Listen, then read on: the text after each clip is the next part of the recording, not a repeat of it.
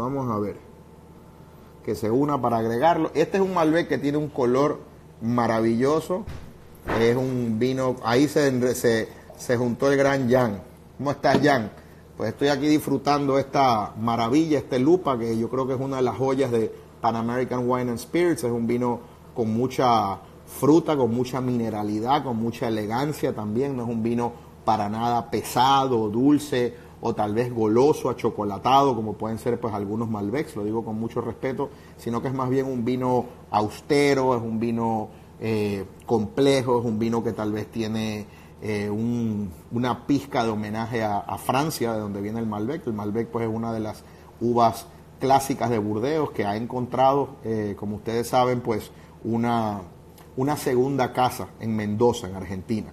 Ahí hacen unos Malbecs maravillosos porque aquí a Puerto Rico llegan muchísimos exponentes de muy buenos Malbec, pero este yo no lo conocía. Este yo, la, verdad es que no conocía este vino, ahí lo pueden ver, Lupa, eh, Paraje Altamira, es un vino que tiene 14% de alcohol nada más, o sea que no es un vino excesivamente cargado pues de eh, sensaciones calientes, sensaciones eh, pesadas o, un exceso de roble. Es un vino muy, muy bueno. Vamos a ver qué está pasando aquí con, el Gran Lupa. A ver si ya se, se unió. Ya estoy mejor de la garganta, Rafi. Muchas gracias. Ya estoy mucho mejor de la garganta. Vamos a ver si Lupa Wine se ha unido aquí para poderlo para poderlo agregar. Denme un momentito porque Estamos teniendo aquí problemas técnicos, todos en vivo, para yo poderlo agregar. Vamos a ver si está por ahí. Estoy mejor de la garganta, estuve unos días con una, con una, el Malbec. El Malbec yo te diría que ahí, ahí viene Lupa, se lo preguntas a Lupa ahora, este Daniel. Vamos para allá. Vamos a agregarlo aquí al, al, al genial Lupa.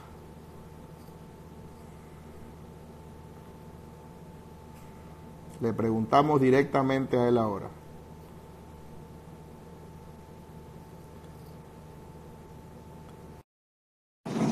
Ahí entra el, el genio detrás de este vino, el, mejor, el mejor Malbec del que tal vez no habías escuchado. Vamos a conectarnos con Argentina. Hermano, hermano, Qué gusto verte. Estoy tomando esta joya, esta maravilla de vino.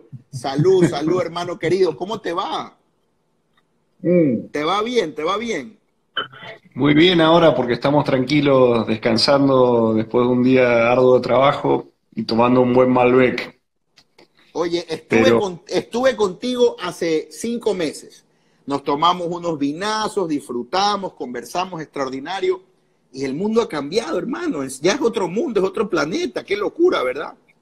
Sí, es increíble, pues aparte mm, eh, pasa todo rapidísimo. Todo cambia día a día y, y bueno, hay que adaptarse. Nosotros que estamos en un momento muy crítico porque estamos haciendo vino, cosechando eh, todos los días cambian las situaciones, las realidades y nada, es una cosecha muy extraña porque no, no vamos a esperar los tiempos que quisiéramos esperar, los tiempos de las plantas o los tiempos de, madurez eh, como veníamos haciendo en los últimos años, sino que tenemos que cosechar en función a... A la salud, a la, a la, integridad de uno. A la salud. Sí, también es que hay mucha gente, nosotros cosechamos todo a mano, y dependemos de, un equipo de trabajadores que, que trabajan en la viña, que hay gente que, que decide salir a trabajar, otros que deciden no salir, entonces todo se ralentiza y depende mucho de la, situación en la que estamos viviendo. Déjame explicar algo muy breve para nuestros seguidores de este lado del mundo, acá en Puerto Rico, en Estados Unidos, en España, México, en Argentina en este momento, amigo, distinto a lo que puede ser... Eh, en Francia, en Italia, en Estados Unidos, que la vendimia es en septiembre. En Argentina están en este momento en el medio de la cosecha, recogiendo las uvas que van a estar en los vinos del año 2020. Y les toca hacerlo en el medio de una pandemia. ¿Cómo, cómo está el tema del coronavirus en Argentina? O sea, ¿cómo está el contagio allá?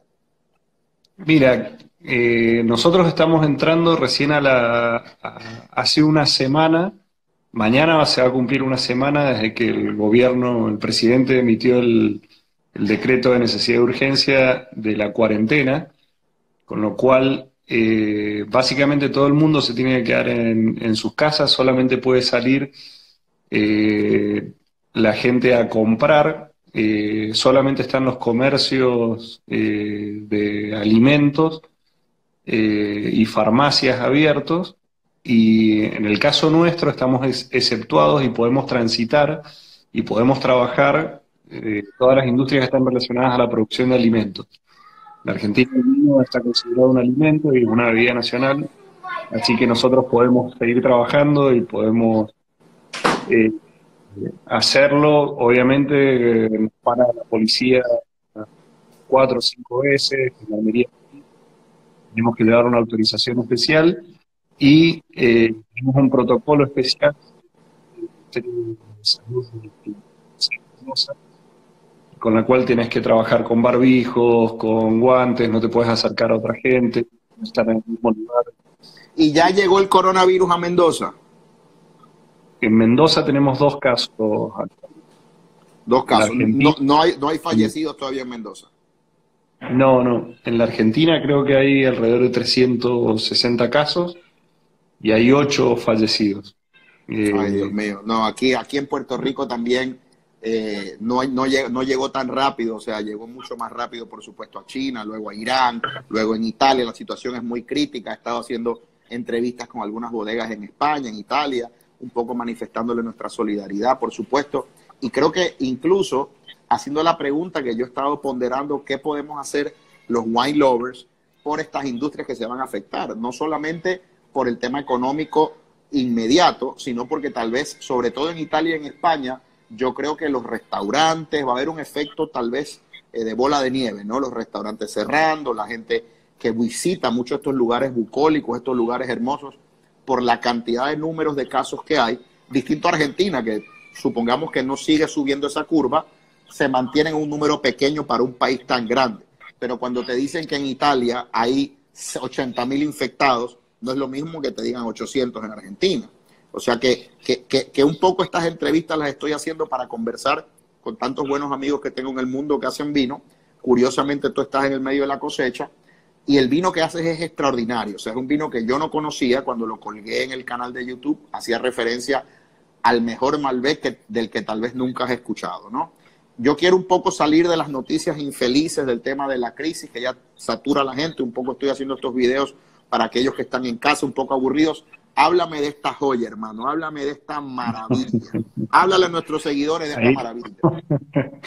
Bueno, nada, ese es un pedacito de mi corazón, básicamente. Así que el Lupa Malbec es, es un Malbec, 100% Malbec, de un viñedo que se llama Finca La Carmela Finca La Carmela está ubicado en Paraje Altamira. Paraje Altamira es el suroeste del Valle de Uco. Para que se den una idea, está a una hora en auto al suroeste de la ciudad de Mendoza. Y es una zona que es una mezcla de frío y altura. Eh, y está sobre un suelo netamente aluvional y estamos muy cerca de la montaña. estamos a 1150 metros de altura, pero como dije anteriormente es una zona bastante fría y nosotros tenemos la suerte de tener un viñedo que tiene bastantes años de plantado, alrededor de 60, 70 años. Y nada, son viñedos muy poco productivos, plantados en, alta densidad. Producimos alrededor de 3.500, 4.500 hectáreas. Y luego yo hago solamente una fermentación y el vino pasa aproximadamente 20 meses de distintos tamaños y de distintos usos, y después está por ¿Y cuántas, botellas, cuántas botellas haces? Y actualmente de lupa eh, hago alrededor de 14.000, 15.000 botellas por año. Eh, vos estás con el 2015 ahí, creo. Estoy acá tomándome un 2015 que me lo trajo Jan hoy día de Pan American Wine and Spirits aquí en Puerto Rico. Los que me siguen, que vivan aquí en la isla tienen que probarlo.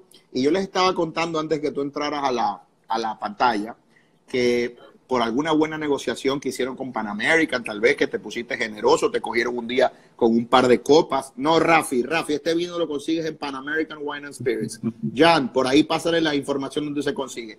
Aquí el lupa se consigue más barato que en cualquier parte del mundo prácticamente. O sea, tú me dijiste que aquí el boricua es afortunado. ah, no estás haciendo plata, no estás haciendo guita. Oye, pero tú, tú sabes cómo yo defino los vinos inolvidables o los vinos que para mí tienen ese lugar muy, muy especial reservado en el corazón. El vino que no puedes pararlo de tomar, que es delicioso, pero que al mismo tiempo no te eh, satura, que es un vino que le vas encontrando matices y capas distintas en cada olfato, en cada copa. Eh, es un vino que, como estaba diciendo antes de que tú entraras al, programa, es muy perfilado y tiene un gran balance entre fruta, potencia, elegancia, mineralidad, acidez. O sea, ciertamente tú percibes esa fruta potente, rica, intensa. Te dice, te provoqué, te provoqué lupa cuando estaba hablando. tiene, tiene, tiene toda esta magia única de la tierra argentina, que obviamente no hay problema ninguno de que el sol ahí alcance los niveles óptimos de maduración, pero al mismo tiempo tiene un homenaje a Francia, tiene un homenaje a la, al terroir, a, a esa sensación un poquito austera y rústica. O sea, es un vino salvaje, pero al mismo tiempo domesticado. No sé si me explico, tal vez lo que dije es una locura, pero para mí es un vino eh, que muy pocas veces yo no había ni leído de un vino, y que soy franco que no había leído de lupa, y me voló la cabeza, como decimos en Puerto Rico. Me fascinó este vino, me encantó. De verdad que, eh, háblanos un poquito, sé que tú tienes ya casi las diez y pico de la noche allá, de, esta etiqueta, de, de, las cosas que tú tachas que para ti no es el vino. Cuéntanos esto porque ahí se unió mi amiga Nicole Chacón, una excelente periodista aquí en Puerto Rico también. Hola, está viendo el Malbec, este Malbec Nicole es una maravilla. Cuéntanos esta etiqueta donde tú vas tachando algunos nombres o algunos conceptos errados o erróneos de lo que se supone sea el vino para los mercados, pero que para ti no lo es. Cuéntame un poco de la etiqueta. Bueno, como vos dijiste muy bien, el Nicole, es vino Mira, Nicole, que es una eh, amante del Malbec, este vino lo consigues en Pan American Wine and Spirits. Ahí ya yo te va a dar la, el dato. Ajá, dinos, dinos, dinos Lupa. El, como bien dijiste, el, Lupa es un vino de terruño eh, y tiene ese carácter de, la tierra salvaje y también lo que lo único que yo hago es, tratar de de que el vino es lo que importa, no solamente eh, no una botella pesada ni una gran historia en la contraetiqueta. Y, y, yo he trabajado muchos años en el negocio del vino para grandes empresas y lo que hice es poner en la etiqueta todo lo que me molesta o no me gusta de lo que es la industria del vino en general y lo taché. Y eso que está ahí es mi letra. Y básicamente ahí lo que hice es asesor eh, global a ver, da la vuelta. La vemos todo. Asesor, global. Marketing, eh, complejo, enólogo top y puntaje. Eh, son cosas que en su momento y también hoy en día eh, no, no, me agradan dentro de la industria del vino o dentro de lo que el vino debería expresar. Para mí el vino es parte de la, de la cultura eh, nosotros en Mendoza somos vino, eh, el vino es alegría, es compartir con amigos, con familia, en momentos tristes, alegres, y, es vino, tiene que ser vino sin verso, sin, tiene que ser sin Maquillaje, sin maquillaje, sin maquillaje. Pero, pero sabes lo hermoso, lo hermoso es que muy poca gente puede decir, yo hago el vino que a mí me gusta tomar. Y digo muy poca gente porque aunque sea aspiracional y mucha gente lo diga, Tal vez es una línea ensayada, porque responden a grandes intereses, a grandes conglomerados. O sea que el hecho de que tú seas una operación más o menos pequeña te da unas enormes libertades. Yo quiero aquí mostrar el color de este vino. Es una maravilla de color. No es un vino ni excesivamente eh, intenso, saturado, pero tampoco es translúcido. O sea, hay hasta un balance en el color. Y entonces en nariz, ¿Qué tú estás tomando? ¿Tú estás tomando también lupa o estás tomando con, eh, Villa? No, estoy tomando un lupa 2018 que ah, lo embotellé. tú, tienes lo, tú, tienes lo, nuevo, tú tienes lo reciente. vamos, a brindar aquí, vamos a brindar aquí la pantalla, choca. Chin, chin, salud.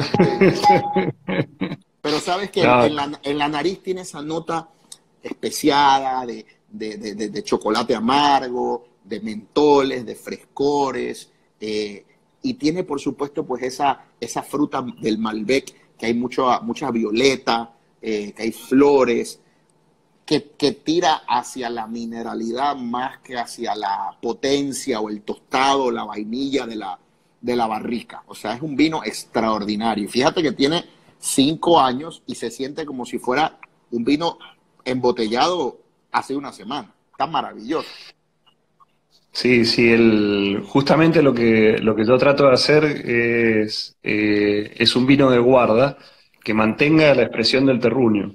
Todas estas notas de, frescura eh, media mentolada o algo, yo le llamo herbáceo fresco, esas notas minerales. Eh, y luego en los barriles lo que hago es tratar de buscar elegancia, básicamente y de darle algo de longevidad para poder disfrutar. Eh, estás tomando un 2015 que tiene 5 años y, y está, está fabulosa esa, esa añada. Y, al eh, final, y, al fin, y al final hay una nota mineral, salina, que te provoca ir o por un pedazo de comida o por otra copa, porque otra copa, sí, sí. es impresionante. Y sabes que manejas muy bien la gradación alcohólica porque el Malbec se te puede ir de las manos, el Malbec argentino, no el Malbec del sur de Francia, que tal vez tiene un problema de maduración.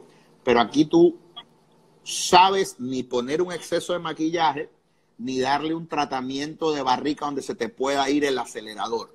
Porque sabemos que la, maduración del Malbec en, en, Mendoza es un Ferrari, en términos de que no tienes los problemas tal vez que tienen en la Borgoña, de que ahí luchan por el sol sino que en el caso de ustedes tal vez es a la inversa, es tal vez saber cuándo pisar el freno y decir, uy, eh, me, refiero al recogido, no al tratamiento de barrica, porque si se te va la mano, recoges una fruta que está ya casi eh, dulcificada. No sé si me, no sé si me sigue. Sí, sí, nosotros al estar en este lugar que, estamos tan cerca de, la cordillera de los Andes eh, y donde tenemos un clima desértico, el azúcar no es un problema y puede pasar a ser un problema también.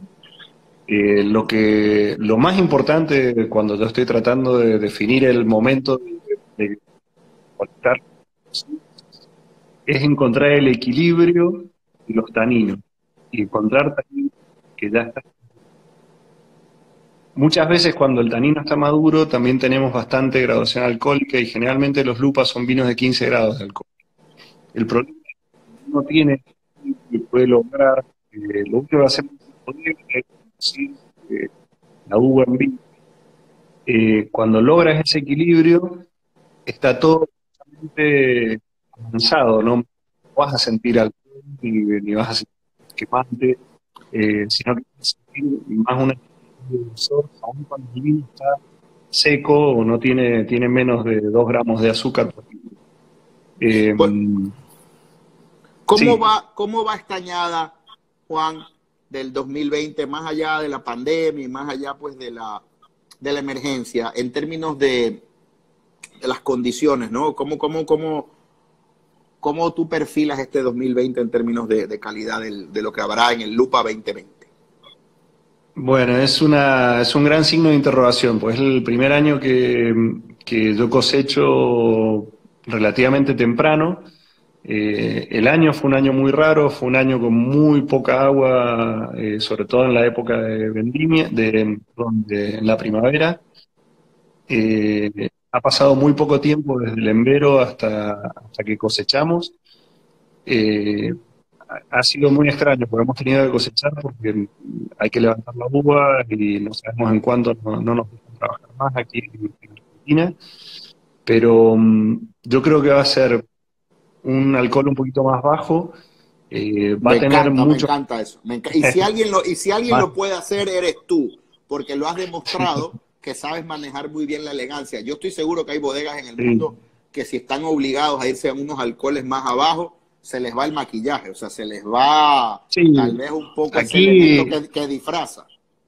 Aquí lo que sucede con el, yo creo que van a, va a ser una cosecha buenísima, porque yo al, tener la posibilidad de darle un tiempo de guarda, eh, puedo generar mucha elegancia eh, y el sí va, lo que sí ya siento es que va a ser una cosecha con, con esas notas de frescura, eh, esas notas florales sobre todo, van a estar mucho más presentes y mucho más intensas. No subas el precio, estoy loco por cobrar el 20 el 2020 cuando llegue. Hermano, te quiero agradecer, yo sé que yo sé que yo sé que estamos ya tarde Vamos a tratar, vamos a tratar. estamos tarde, hermano, te mando un fuerte. ¿En qué etapa están? ¿Cuánto te falta para acabar el recogido? ¿Ya recogiste toda la fruta?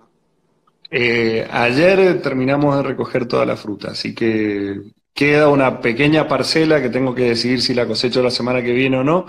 Lo que pasa es que justo eh, anoche vino una tormenta y ha estado lloviendo todo el día y bueno, eh, pero ya tenemos toda la fruta adentro, así que estamos fermentando, estamos ya haciendo eh, esa magia que en realidad nosotros no hacemos nada, es la uva y, la maravilla del vino que se, se hace solo, nosotros lo acompañamos nomás. Bueno, una preguntita aquí me hicieron por texto, me hicieron la pregunta, me dicen, porque yo hablé de los otros vinos, aquellos que tú trajiste en la entrevista que hiciste conmigo, ¿te acuerdas? Viña Constantine, ¿cómo se llamaba? Calle Contastini, que es el nombre de la calle donde está el viñedo. Calle con que era una, un blend de Bonarda con... No, el, no, el Calle Contastini, el, el tinto es, es, una cofermentación de Malbec y Petit Verdot. Y Malbec y Petit Verdot. Esas maravillas, ¿cuándo, llegan, llegan a Puerto Rico? ¿Estás en esa? ¿Estás en esa? Y estamos ahí luchando con el registro de la etiqueta, pero son en breve tiene que estar el día allá en Puerto Rico. Esperemos que se solucione un poquito este tema del coronavirus y, ya te lo mandamos. bueno, hermano, te quiero agradecer por tu tiempo. Sé que estás bastante tarde allá. Ella más, ya ha sido más que generoso con, con esta entrevista. Agradezco a los amigos de Pan American Wine Spirits no solo por permitir este contacto, sino por traer esta maravilla al consumidor aquí en Puerto Rico. Los que me siguen en otras partes del mundo, si ven esta etiqueta por ahí, donde ven una elegancia, una etiqueta negra, donde están tachando todo lo que no debe ser el vino y ven lupa, pues este señor que está con la gorra allí es el gran lupa. Deben probar estos vinos, darle una oportunidad. A los, a los de ustedes que les gusta el Malbec, son unos grandes vinos. Aquí tengo un futuro amante del Malbec. ¿Lo viste por ahí? O sea, somos... Te mando un fuerte abrazo, hermano. Protégete, cuida, cuida a tu familia, cuida a tus empleados y por favor sigue haciendo esta magia en copa. Fuerte abrazo, Lupa. Bueno, para que, viva Argentina. un, abrazo, un abrazo, grande a todos los, los amigos. Chao, chao. Chao, chao.